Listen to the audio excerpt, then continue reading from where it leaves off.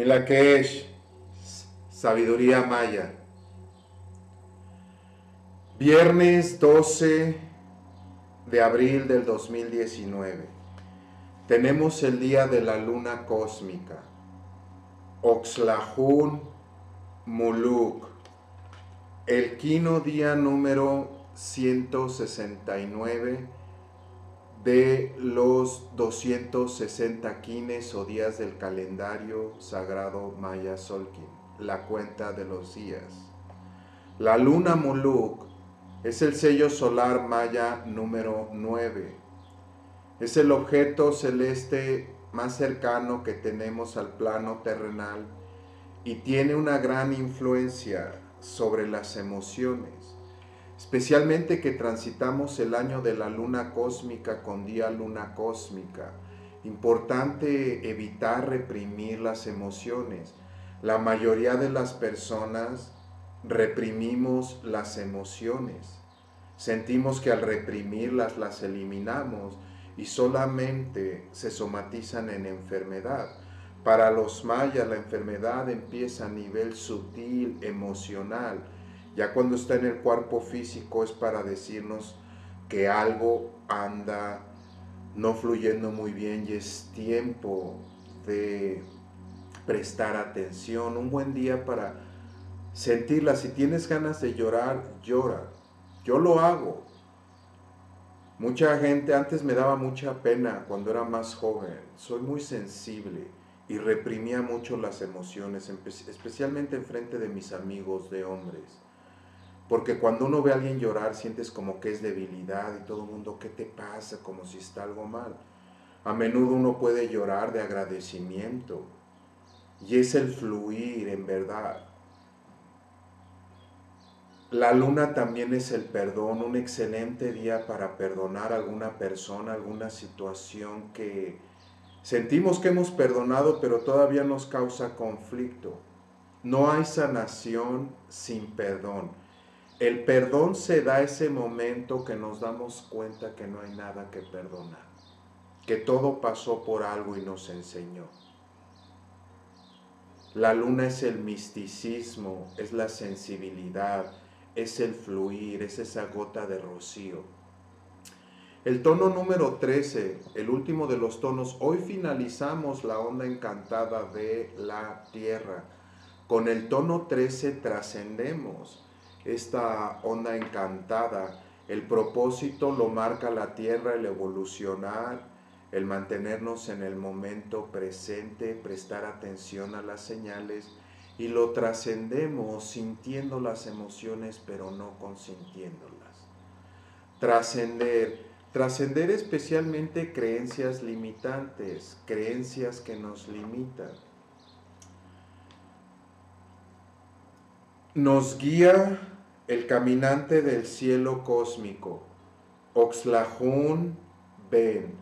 El caminante del cielo, Ben, es el sello solar maya o glifo número 13. En la cosmovisión maya se representa por Cuculcán, Quetzalcoatl, la serpiente emplumada. El caminante del cielo es un puente que une el cielo con la tierra y es a través de nuestra transformación personal. El viaje de transformación interno ha comenzado. Vigilar los espacios, especialmente la mente. La mente realmente es lo que más nos puede dañar, ni nuestro peor enemigo. Tener esos pensamientos que no paran. Escuchas al lado bueno, al lado malo. La mente crea una personalidad crea un ego. Creemos que las personas valen por el dinero, las posiciones, que alguien es más famoso vale más que alguien que no, etc. Está muy torcida la realidad. Ha llegado el momento de despertar. Buen día para viajar, para explorar los espacios. El kin análogo, el don del día, es el don del perro cósmico, Oxlahunok, el perro que es el sello solar maya número 10. Y el perro es ese amor incondicional. Vamos a comenzar mañana la onda del perro. amar incondicionalmente, como lo hacen los perros, sin condiciones. Aquí comparto con dos perritos especialmente y me doy cuenta de su amor incondicional, es impresionante, sin importar si estamos vibrando alto, bajo, son incondicionales. La mayoría condicionamos. Decimos que no, pero tenemos muchas expectativas. Cuando se cumplen nuestras expectativas, fluimos, amamos, pero si no, piensan como nosotros, hacen como queremos, condicionamos también un buen día para poner límites. Amar incondicionalmente no significa soportar abusos. Muchas personas se encuentran en situaciones o relaciones abusivas. Y por miedo a estar solos, porque nos enseñan que estar solos es como algo muy feo, muy desagradable, nadie me quiere, no tengo amigos, nada. La soledad no es estar solo, sola, es estar vacío. Sé tu mejor amigo, tu mejor amiga. Y también el perro es la lealtad. La única y verdadera lealtad es hacia tu camino, o sea, no es hacia alguien más. Me impresiona la gente que es súper leal, por ejemplo, a los partidos políticos, que se enamoran de su partido a pesar de que pueden ver todo lo torcido que está. No, yo le voy así. En verdad, crea tu propia experiencia. El poder oculto es el poder del humano magnético. Jun E. El humano E del sello solar maya número 12. El humano es el libre albedrío. El alma encarna en un cuerpo físico para obtener ciertas experiencias, experimentar ciertas lecciones que solamente aprendemos. Hay más. Esa la pareja, les comenté, la pareja de mi mamá, no sé si lo comenté ayer, falleció. Ve que madre falleció en octubre, bueno, su pareja con que era ah, falleció ayer. Y bueno, es muy interesante porque yo recuerdo haber tenido pláticas con él y con esta persona, Ignacio. Siempre me gusta especialmente platicar con las personas de ciertos temas que a muchos no les, no les gustan mucho o, no, no se les interesa, pero para mí me gusta mucho preguntar cuando entramos en una conversación más profunda, ¿qué piensa la gente después de que uno muere, dejamos el cuerpo? Para ver, para mí me dice mucho de la persona. Si uno cree en el cielo o en el infierno, si uno cree que ya no hay nada más, que ya se acaba todo, si crees en la reencarnación, etc. Mucha gente no le gusta y le pregunté a él. Y me dijo, no, ya se acaba todo, ya no hay más. Eso fue hace todavía hace como unos dos años. Dice, ya no hay más. Y esa es realmente su creencia. Y lo dejo cada quien, ni me meto, ni trato de convencer, ni nada. Pero yo recuerdo que hubo un tiempo cuando era, tenía unos mucho más joven, 13, 14 años obviamente. Eh, no sabía qué pasaba, entonces me daba miedo. Y es mi onda encantada que te marca un propósito y y bueno, a mí el miedo a la muerte lo tuve por varios años, como de los 13 a los 16, 17 años, porque no sabía qué iba a pasar, no creía en nada. Y bueno, ahora que trascendió, que sé que ha de estar por aquí todo eso, cuando te das cuenta de que hay más, ha de ser una desorientación muy fuerte, porque para los mayas la muerte es una transición al plano espiritual Así como hay una transición cuando nacemos, cuando estamos adentro del cuerpo, parecería una muerte, que estamos en gestación nueve meses, la muerte es, esa transición. Y para los mayas por eso tenían esa fascinación con la muerte, porque sabían que había más y que esta vida, las acciones, tenía mucho que ver en nivel de conciencia para cómo transitamos ese portal. Mucha gente no quiere ni platicar, hay gente, ay, ni platiques de eso, no, todavía me falta mucho, no sabemos. Entonces, bueno, quería, no sé por qué ya todo se fue del humano, pero es el libre de albedrío y las decisiones. El tono uno, prestar, evitar tomar decisiones importantes bajo emociones temporales. Muy importante, muy recomendable. El tono 1 magnético, Jun, es el inicio, es la unificación, es el propósito. Tu misión es tu pasión, es hacer lo que amas. Sea lo que sea que amas hacer, eso es lo que debes hacer. Lo que te da paz, felicidad. Mucha gente me dice, oye, es que tú sobrevives con el dinero, ¿verdad? Porque yo vivo al día, o sea, yo no tengo una cuenta de cheques ni cosas, o sea, con ahorros y todo, no, vivo al día realmente, pero vivo feliz, llevo 10 años haciendo lo que amo. Hubo un tiempo que sí quería el dinero y todo y se necesita, pero ya no me, ya no invierto toda mi vida nada más en generar, generar, generar, ¿no? En hacer cosas que amo y por eso dejé lo que hacía para hacer esto y mucha gente no puede creer que, que bueno, me mantengo de esto, haciendo esto, haciendo lecturas, ayudando a elevar la conciencia. El Kin Antípoda es un reto, un desafío y es el reto de la tormenta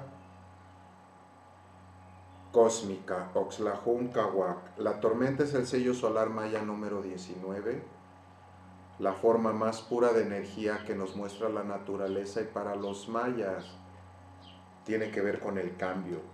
El reto es el cambio, estamos en profundos cambios. Aceptar el cambio. El cambio no produce dolor, es la resistencia al cambio. Como seres humanos se nos condiciona a buscar la seguridad, la comodidad, buscan la, buscar la seguridad en todo. Venden seguros de todo. aquello que resistimos persiste. Si estás pasando alguna tormenta profunda, mantente en el centro, procura mantener tu paz y armonía, evitar lo que puedes evitar. Ahí vas a catalizar la mayor cantidad de energía. Es como estar en, adentro de, de tu casa y viendo desde la ventana la tormenta, ¿no? Estamos en el Castillo Amarillo Sur del Dar, utilizar la inteligencia emocional especialmente con este día luna y año luna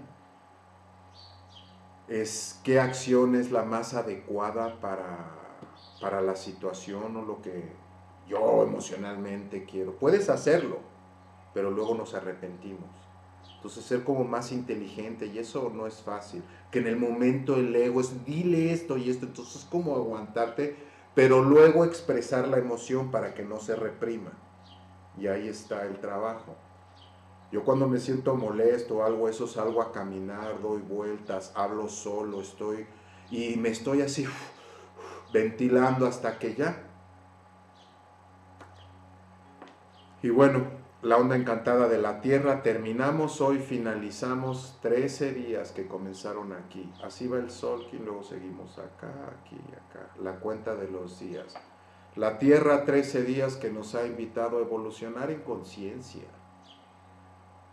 Conectarnos con la tierra, con la naturaleza, es la más grande maestra y sanadora.